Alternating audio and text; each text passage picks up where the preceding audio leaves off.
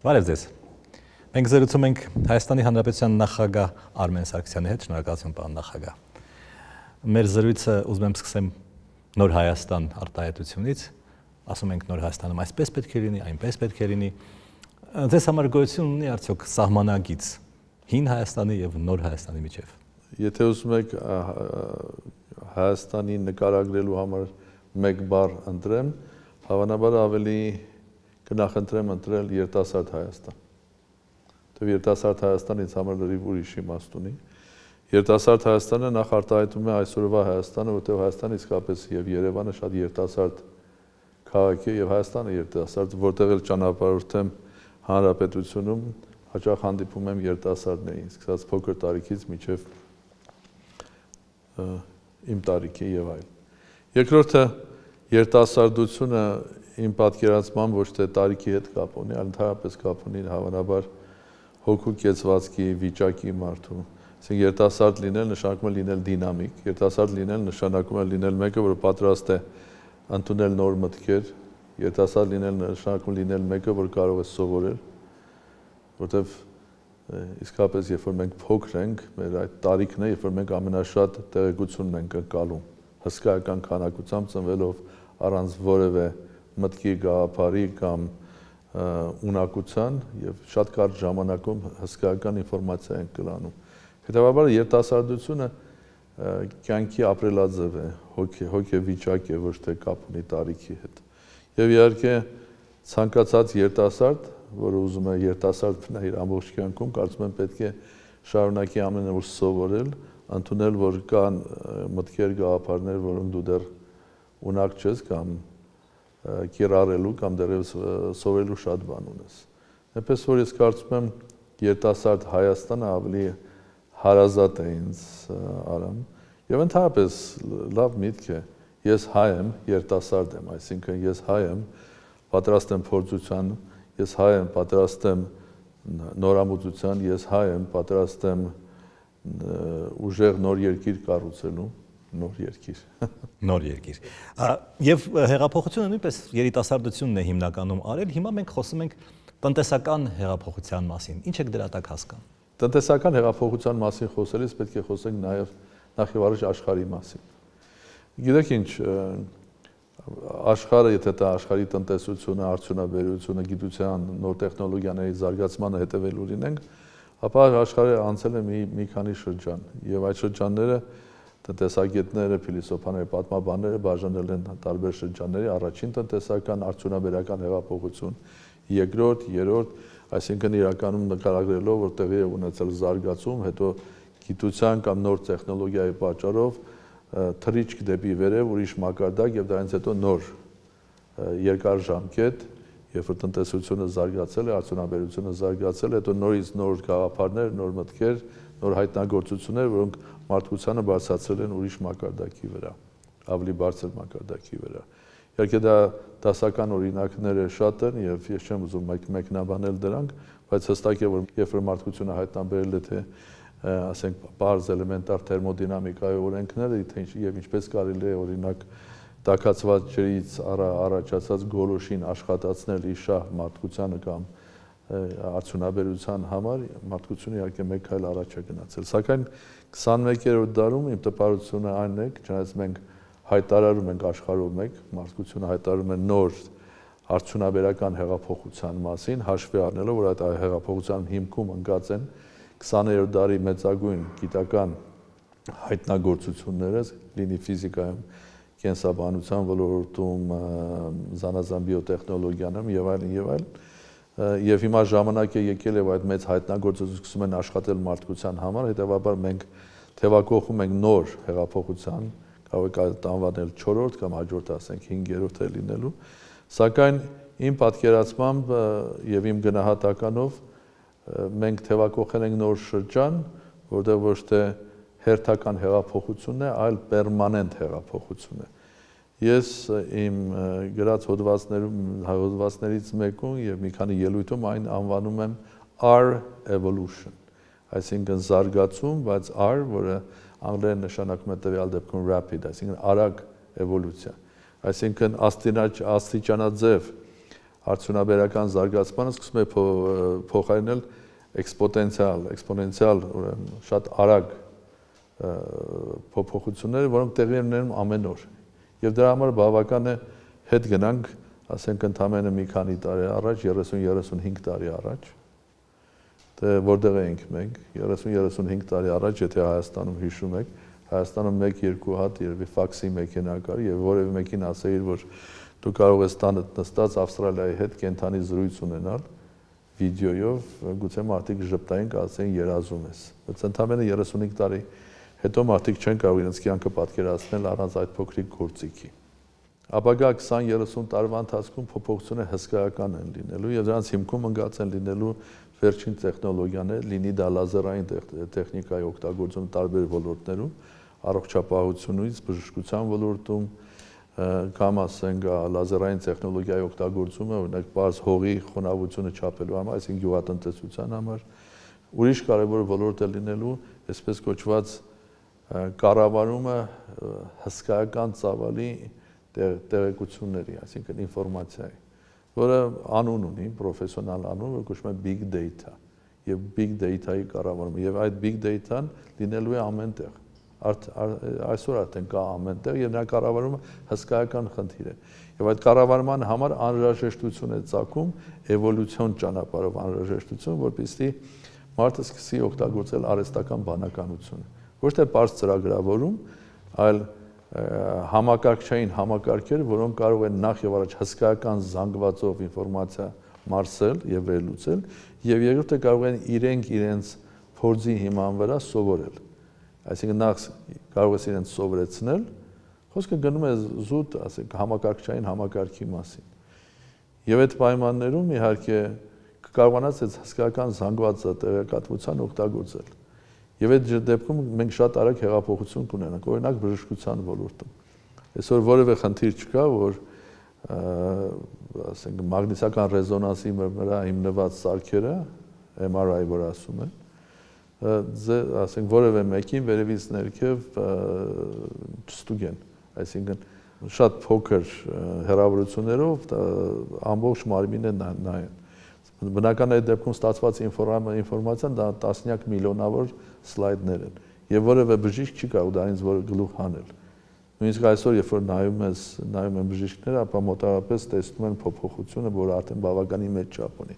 Բայց եթե դա հետևում դնեք արհեստական բանականություն ունեցող համակարգիչ, այդ դեպքում շատ արագ մի քանի վայրկյանում այդ համակարգիչ արհեստական բանականություն կոչված կկարող է վերլուծել եւ բժշկի սեղանին դնել արդյունքը ուրեմն մենք ունենանք հեղափոխություն բժշկության մեջ։ Արհեստական բանականությունը մտնելու է ամեն տեղ, այսինքն մեր ունեցած այդ փոքրիկ գործիքը դառնալու է շատ ավելի խելացի, օգտակար կոմունիկացիայի մեջ եւ գուցե այդ գործիքի չափերն են փոխվելու, ես չեմ ուզում նույնիսկ կանխատեսել, բայց մի բան հստակ է,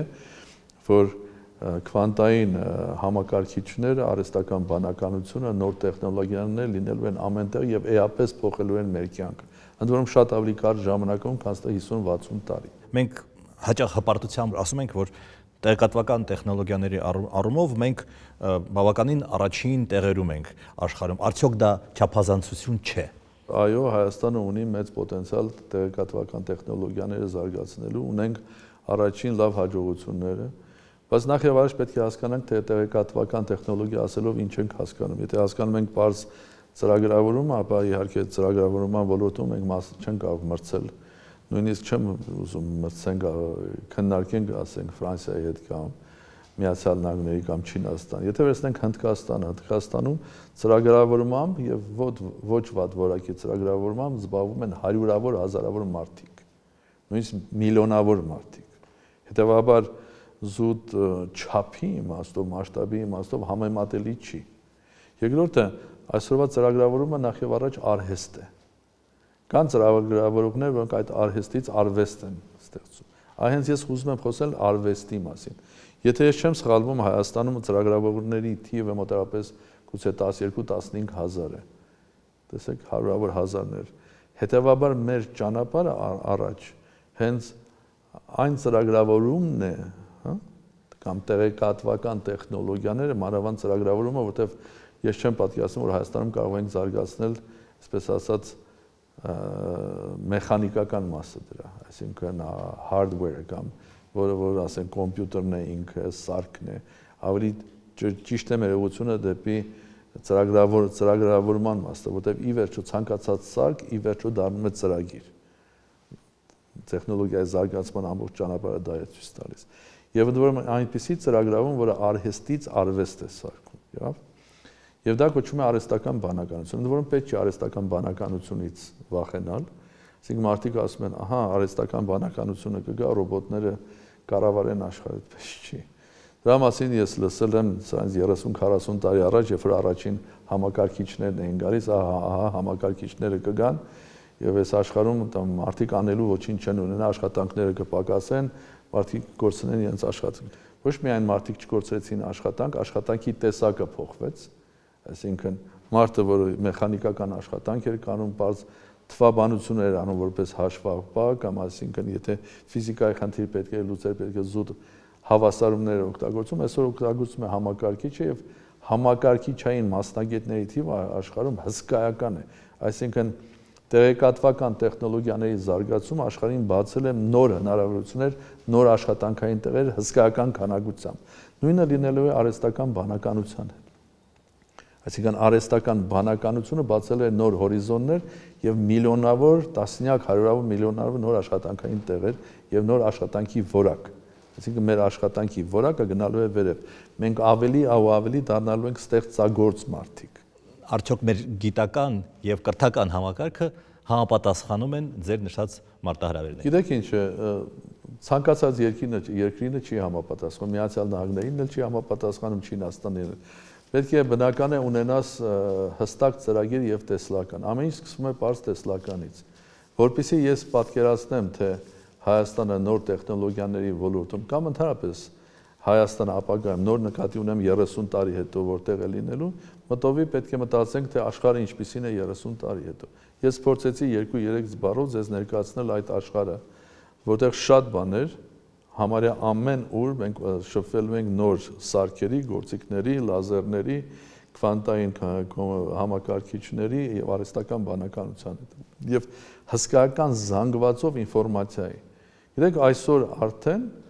աշխարհում կա ինտերնետին միացրած 53 միլիարդ սարք 53 միլիարդ եւ այդ թիվը մոտակա 10 տարում կկրկնապատկվի եւ կարծում եմ գուցե երապատկվի որտեվ միշտ ինչպես ասեցի our evolution կոչվածը շատ ավելի արագ է գնում քան թե մենք կարող ենք պատկերացնել մարդ մարդկության բնակչությունը եթե վերցնենք ստացվի այսինքն ծնված նոր երեխայից մինչև 100 տարեկան մարդը միջինում, միջինում ստացվում է, որ 10-ից մի քիչ քիչ, այսինքն 7-8 սարք կա արդեն էլեկտրոնիկան, վիրտուալ աշխարհի կապված իր հետ։ Եվ աղ այդ սարքերի թիվը դառնալու է 20-30, այսինքն մարդկանց մի մեծ մասը ապրելու են վիրտուալ կյանքով։ Ուրեմն սա է աշխարհը 20-30 տարի հետո։ Շատ արագացած տեմպերով գնաց։ Ուրեմն, որpիսի մենք 20 տարի հետո լինենք, այսպես ասած, ավանգարդում այս զարգացման, պետք է սկսենք աշխատել այսօր։ Եվ լավ լուրը հետեւյալն է, որ աշխարհի երկրների մեծ մասը, այսպես ասած, ստարտի վրա են կանգնած։ Ինչպիսի բաղադրիչներ են անհրաժեշտ, որպեսզի մենք կարողանանք 21-րդ դարում հաջող լինենք եւ մասնարարպես ասենք արհեստական բանականության ոլորտում մեր ասելիքը անենք։ Նախ եւ առաջ բարձր որակի գիտություն։ Մենք ունենք պատմականորեն լավ գիտական հիմք, բայց գիտությունը երբեք նույն տեղում չի կամ եւ հետեւաբար պետք է նախ եւ առաջ բերենք աշխարհի լավագույն փորձը այստեղ։ Երկրորդը չես կարող զարգանալ ինքս ինքդ անդադ անիվ այստեղ հորինելով անիվ։ Հետևաբար շատ շատ կարևոր է որպեսզի միջազգային փորձը մանավանդ արդյունաբերական փորձը Հայաստան գա։ Եվ դրա համար անհրաժեշտ է որպեսզի մեծ միջազգային ընկերությունները, որոնք զբաղվում են ժամանակակից բարձր տեխնոլոգիաներով Հայաստան գան։ Եվ Դա վառ օրինակներն են, օրինակ Իսրայել այս օրերին համարվում է բարձր տեխնոլոգիաներով զբաղվող երկիր, կամ ասենք Իռլանդիան։ Եվ բաղադրիչներից մեկը հստակ է այնտեղը, եւ Իռլանդիայում, եւ Իսրայելում, եթե օրինակ Թել Ավիվից գնաք Հայֆա, աշխարհի ամենամեծ բոլոր ընկերությունները հսկայական գործարաններ կամ գիտազետազատական կենտրոններ ունեն։ Ուրեմն պետք է այնպես անենք, որ մեծ ընկերությունները գան Հայաստան եւ ստեղծեն համատեղ ձեռնարկություններ Սա էլ երկրորդ պարամետրն։ Երրորդ պարամետրը պետք է ստեղծենք ընդհանուր միջավայր։ Հենց նույն ստեղծագործ մարդու համար լինի երիտասարդ, երիտասարդ 10 20 տարեկան երիտասարդ, թե 80 տարեկան երիտասարդ, որը պատրաստ է նորարարության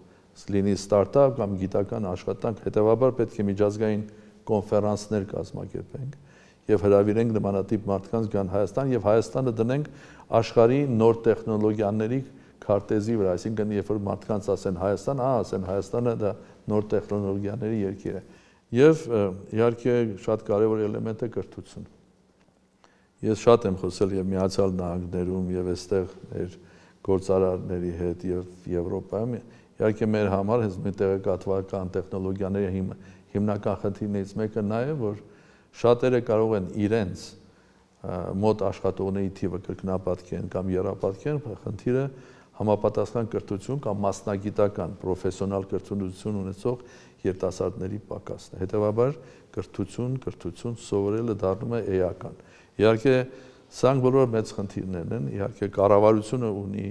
գործարարներ ունեն իրենց խնդիրները, ակադեմիան իր ունեն, հասարակություն ունի։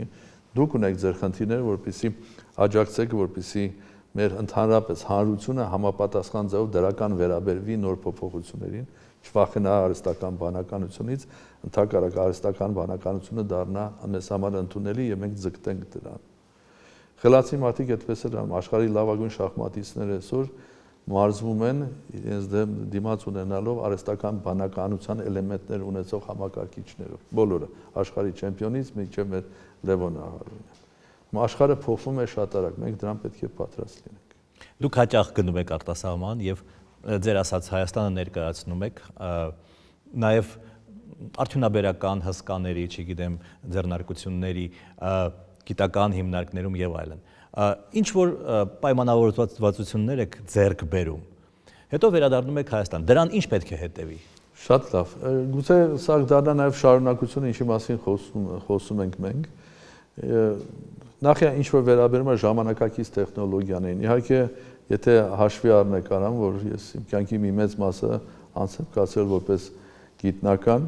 եւ ընդ որում գիտնական, որ 1980-ականներին Երևանի պետական համալսարանում նոր մասնագիտացում բացեց։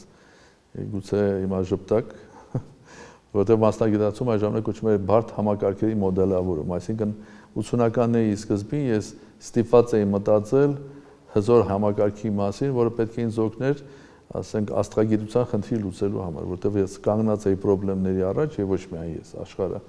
որտեղ շատ խնդիրներ չէի կարողանում լուծել, ասենք ենթադրենք նեյտրոնային աստղերի, պուլսարների, բորստերների, ասենք կառուցվածքը,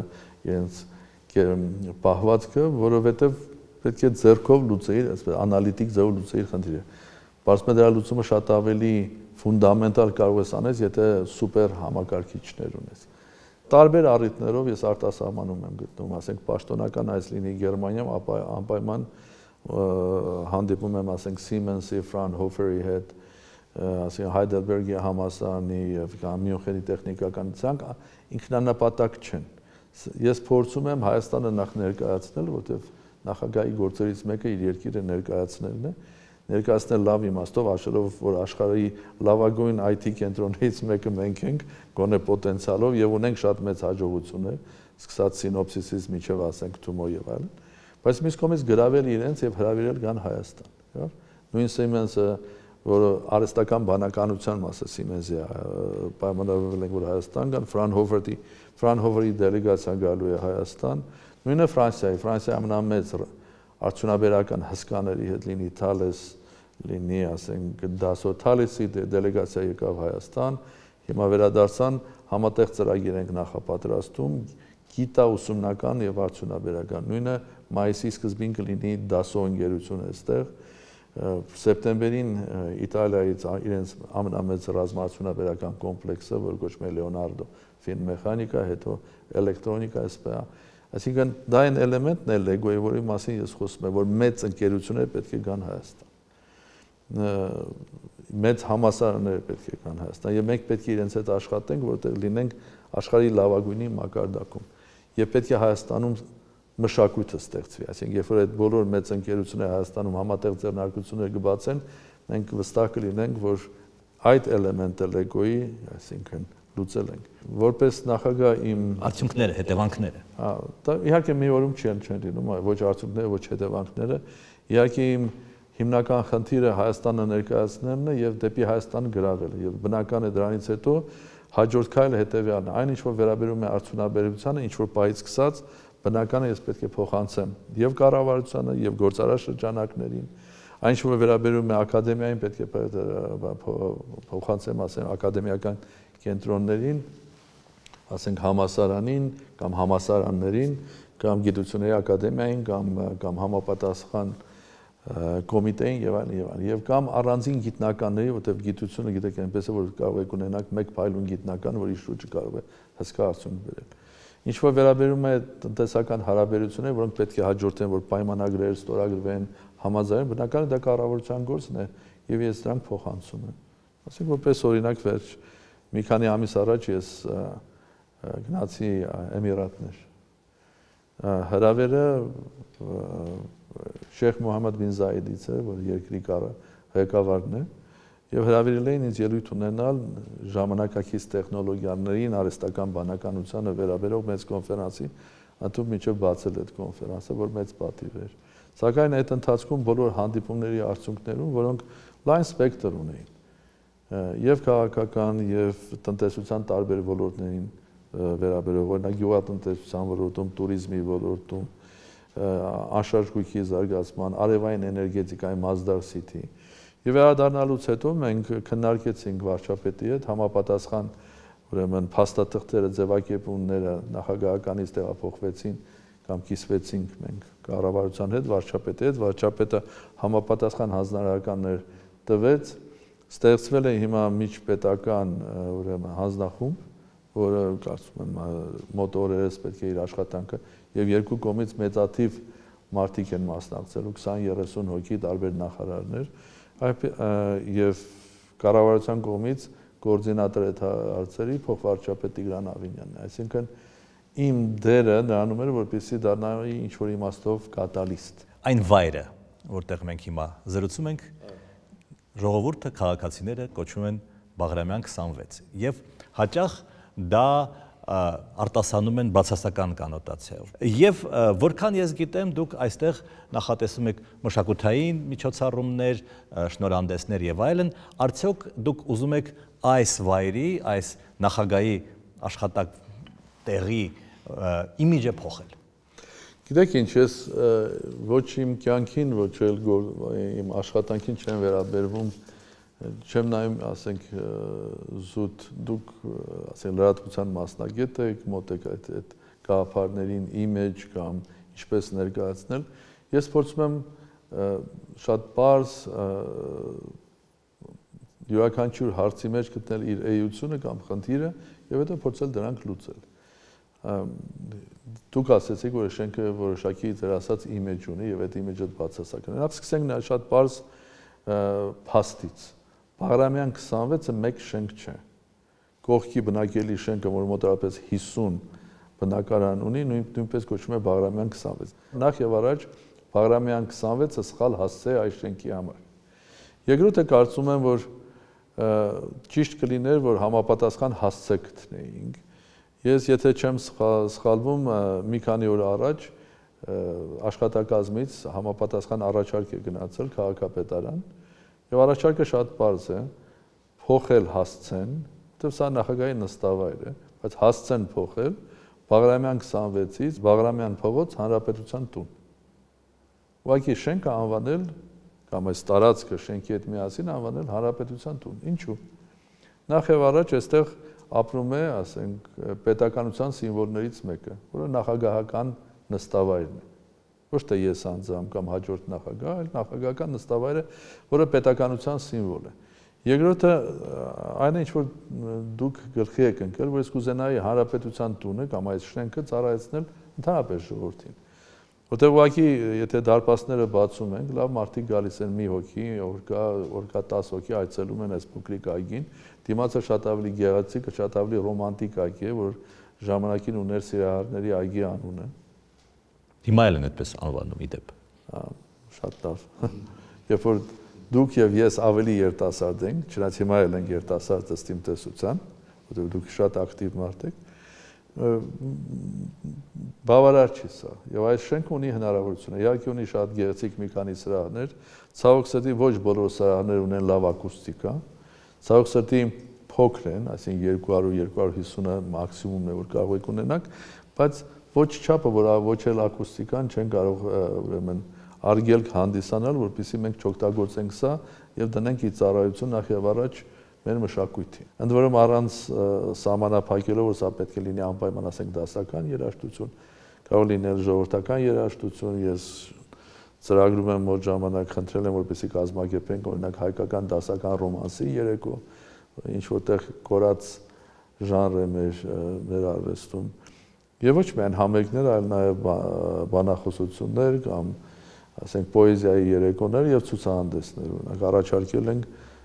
մեր հայտնի նկարիչներից մեկին, որոնք ընտանեկան տրադիցիա ունեն, Էլիբեկյան ընտանիքին ցուցահանդես կազմակերպել հենց նույն սրահում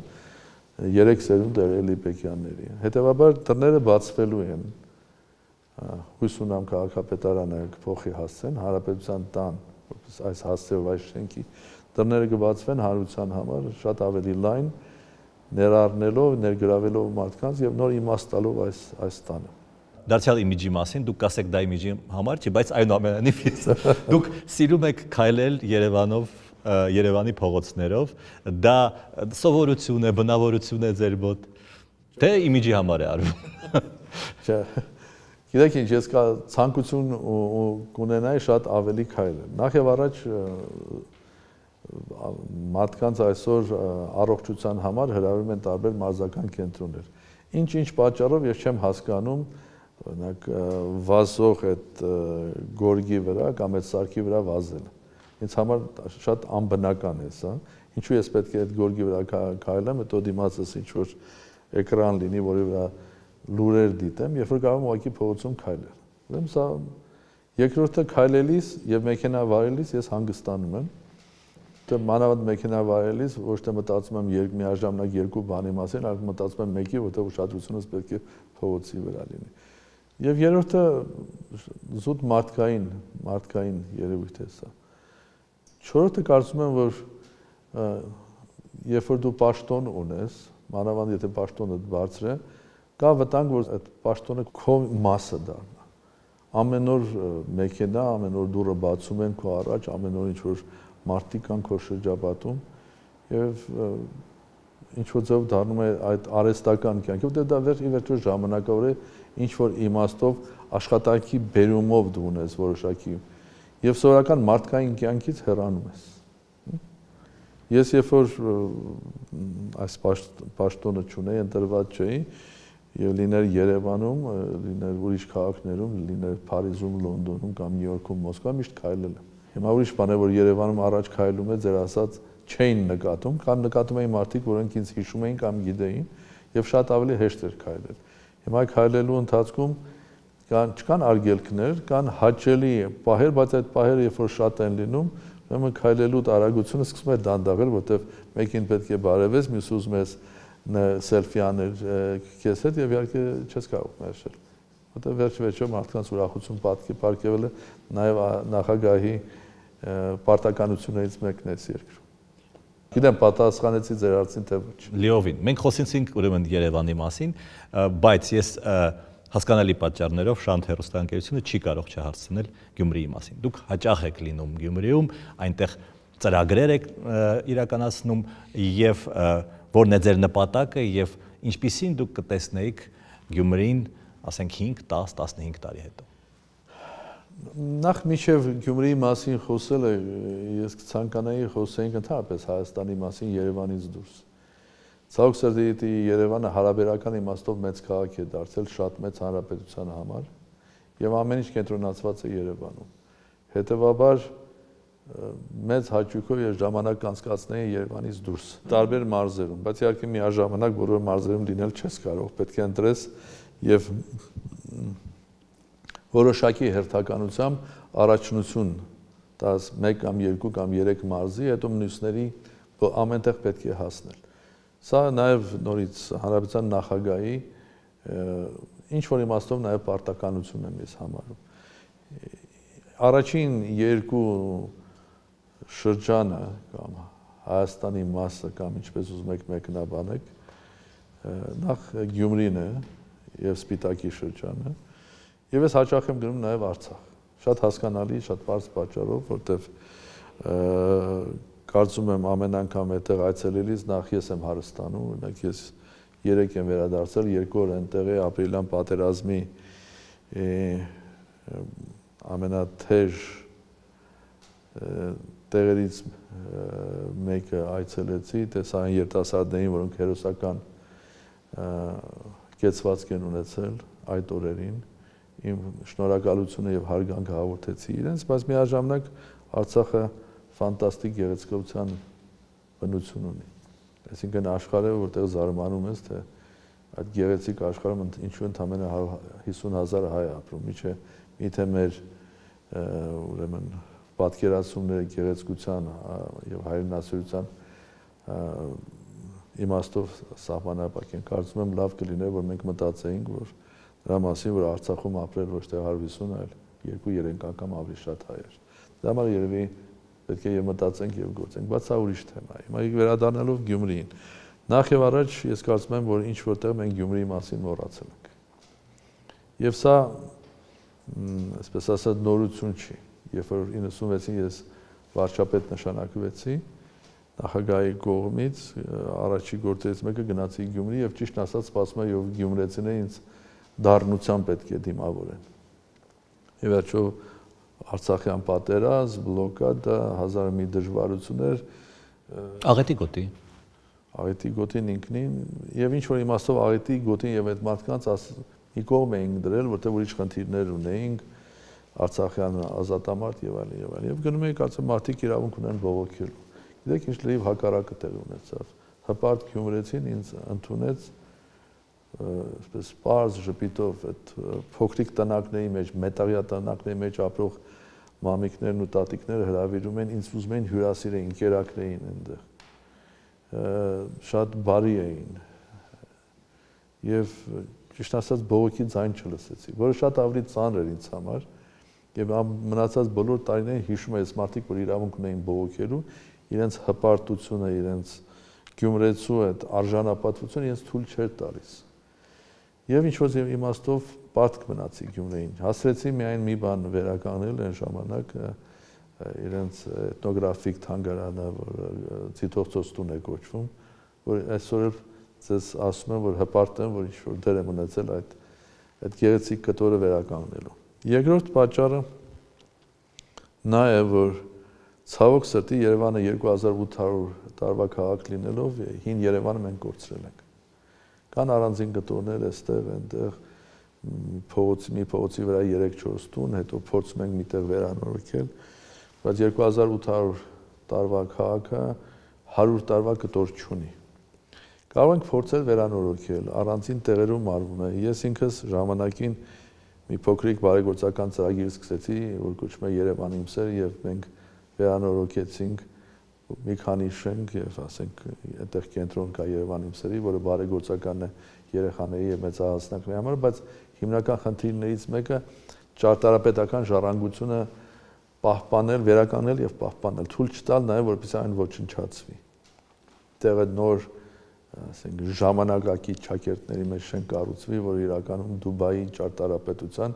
որը ոչ բնավորություն ունի ինչ որտեղ, ոչ ազգություն, ոչ էլ ինքնություն ունի, այսինքն դրա արտապատկերն են, որում սև ու սպիտակ արտապատկեր։ Ուրեմն ժառանգությունը շատ էական խնդիր է։ Գյումրիում մենք ունենք ժառանգություն, ունենք ճարտարապետական ժառանգություն, ունենք մշակութային հսկայական ժառանգություն, այսինքն բավական է երկու փողոց քայլե Գյումրիում, միտեղ տեսնում եք Մահեր Մկրտչյանի տուն թանգարան, միտեղ Ավետիքի Սահակյանի եւ այսպես շարունակ։ Հսկայական մշակութային ժառանգություն ունենք։ Եւ Եթե մտածում ենք туриզմի զարգացման մասին, ապա Գյումրիի նման քաղաքը առաջնահերթ է։ Երևանից ընդամենը 1 ժամից մի քիչ ավել է ճանապարհը։ Եթե հյուսիս-հարավ ճանապարհը մայրուղին կառուցվի, կարծում եմ շատ ավելի արագ կարող են տես։ Իսկ ինչ է ընդհանրապես այսօր 1 ժամը ոչինչ։ Եվրոպական ցանկացած մեծ քաղաքի համար դու քաղաքի ասենք կենտրոնական մասի միտից մյուսն ես դե տեղափոխվում 1 շուն 1 ժամվա ընթացքում Հետևաբար եթե մենք ունենք տուրիստներ, որոնք ուզում են հին Հայաստան տեսնել, հին Երևան տեսնել, կան հին Գյումրի տեսնել, բավական է ընդամենը 1 ժամ ճանապարհորդել կլինես Գյումրիում։ Եվ երրորդը շատ էական է, որպեսի այդ վերաբերմունքի արդյունքում սկսի Գյումրին վերակենդանանալ։ Ես գնահատում եմ այն բոլոր անձանց կազմակերպություններին, կառավարությանը, որ ժամանակին վերանորոգել են, վերականգնել են, նաև կառուցել են Գյումրիում մարդկանց համար։ Տներ են կառուցել, բայց քաղաքի կենտրոնը մնացել է այդ որպես ինչպեսին որ կա։ Փարիզում իմ այցելության ժամանակ ՅՈՒՆԵՍԿՕ-ի գլխավոր քարտուղարի հետ հանդիպման ժամանակ ես իր արժև երկու խնդիր դրեցի Հայաստանի հետ կապված։ Մեկը մատենադարանը սարքել իսկապես միջազգային մեծ կենտրոն մատենագիտության, որտեղ ռեգիոնում, տարածաշրջանում եթե գնաք հիմա ասենք Սիրիա, Իրաք, Պարսից ծով, ընդհանուր միջև Հնդկաստան եւ դեպի հյուսիս եւ դե չկա նմանատիպ կենտրոն։ Երկրորդ խնդիրը, որը ես խնդրեցի, որ գլխավոր քարտուղարը ուշադրության դարձնի, դա Գյումրիին, մանավանդ Գյումրիի կենտրոնը ՅՈՒՆԵՍԿՕ-ի հովանավորության տակ վերցնելն է որպեսզի այդ կենտրոնը պահպանվի, զարգանա եւ իհարկե նման դեպքում մենք կարող ենք աջակցություն ստանալ նաեւ ասենք գուցե Եվրոմիությունից, միջազգային հանրությունից եւ հենց նույն ՅՈՒՆԵՍԿՕ-ից եւ քաջալերենք ուրիշներին, այսինքն ուրիշ ասած ասած ուրիշներին, այսինքն ոչ հայերին կան նաեւ մասնակցել։ Եվ իհարկե միայն տուն վերանորոգելով բավարար չէ, պետք է ընդհանուր մոտ մտնոլորտ ստեղծել, հա։ Եվ որպես օրինակ ես երբ որ ազատ ժամանակ եմ գտնում, եթե թատրոն կա Գյումրիում, կուզենամ գնալ թատրոն, եթե համեր կա, կամ ուղղակի օրս այնտեղ անցկացնեմ։ Ընդամենը 1 ժամ է Երևանից։ Հունիսին իմ Իտալիա այցելության ժամանակ պայմանավորվածություն ունենք, որ Իտալիայի ճարտարապետների եւ շինարարների միության դելեգացիա է գալու Հայաստան, այսինքն, եւ իրեն գալու են Գյումրի, որպեսզի նայեն Գյումրին, որտեղ նմանատիպ կառույցը, որը տարեկան մի քան մոտ 15 միլիարդի արտադրանք է տալիս շինարարական ճարտարապետական, եթե Գյումրին դառնա ինչ որ իմաստով իրենց համար ծրագիր, այդ մարդիկ կարող են նաև ֆոնդեր կամ ֆինանսավորում բարձրացնել Եվրոմիությունից կամ միջազգային հանրություն իրենք եւ իրենք էլ կան օգնեն շինարարություն անելու կամ ճարտարապետական լուծումներ տալու, որտեղ իտալացիները այդ գործի մեջ մեծ վարպետներ են հին ճարտարապետական արժեքները վերանորոգելու։ Այնպես որ ես կարծում եմ ընդհանուր վերաբերմունք է պետք փոխել եւ ոչ միայն միջազգային հանրության կողմից ՅՈՒՆԵՍԿՕ օտար երկրները հրավիրելով նրանց, այլ նաև մեր մեջ։ Գյումրին ուղակի սահմանված է, որ լինի մշակութային քաղաք։ Այդ բոլոր ծրագրերը հանրայնացնելու համար շատ կարևոր է մեդիայի դերը։ Ես գիտեմ, որ Գյումրիում դուք պատահաբար ներկա եղաք Շանթ հերոստանգերության թղթե երազանք ֆիլմի նկարահանմանը, եւ այդ ֆիլմը, որքան ես եմ հասկանում, որքան ես եմ տեսել, դա Գյումրեցու այդ ձեր ասած հպարտ Գյումրեցու կամքն է նոր կյանք ստեղծելու։ Արդյոք նման ակցիաները կարող են օգնել այդ ծրագրերի իրականացման։ Այսինքն ոչ միայն ոչ միայն նման այո նման ասում եք նման ակցիաները մեր բոլորի վերաբերմունքը պետք է փոխվի ընդհանրապես մեր հայրենիքի նկատմամբ։ Մի կասկածեք, ապագա ամիսների ընթացքում ես գնալու եմ Լորի, գնալու եմ Սյունիք եւ փորձելու եմ գտնել ինձ համար այն կարևոր առանցքայինը, որ տվյալ Հայաստանի տվյալ տարածքը, տվյալ շրջանը, մարզը կամ մեր ժողովուրդը, որ ապրում է այդ տարածքում, ունի, որտեղ մեզնից յուրաքանչյուր լինելով, բոլորս լինելով հայ, առանձնահատուկ որակներ ունենք։ Եվ հիմա Գյումրիում էի, ես արդեն շատ ընկերներ ունեմ այնտեղ, սկսած սրճարաններում, ընկեր ունեմ, որ անունը Միքայել է, փոքրիկ սրճարանում, որը բարեգործական նպատակ ունի, ինքը Դաունի սինդրոմ ունի, Միքայել բանը ֆանտաստիկ տղա է։ Շատ սուր միտք եւ շատ սուր գյումրեցու հումոր։ հա։ Եվ մենք պայմանավորվել ենք, որ եթե ինքը սորի լավ հաց տխելը, միասին փոքրիկ հացի փուռ ենք բացելու։ Եվ նա ընկեր է ինձ համար եւ այդ փողոցով քայլելիս այդտեղ քրքրքորանի արցանը կա սիրում եմ ես այդ բոլոր փողոցներով քայլելով միշտ մտքիս մեջ պատկերացնում եմ թե հուսամ թե 5 տարի հետո այդ կամ 10 տարի հետո այս քաղաքը ինչպեսի գեղեցիկ տեսք ունենա, ինչքան լեցուն կլինի մարդկանցով։ Եվ այդտեղ տեսա նկարահանումը եւ երկու ասած ինչ ասեմ հրաշք երեխաներ եւ ծանոթացա, միասին թեյ խմեցինք։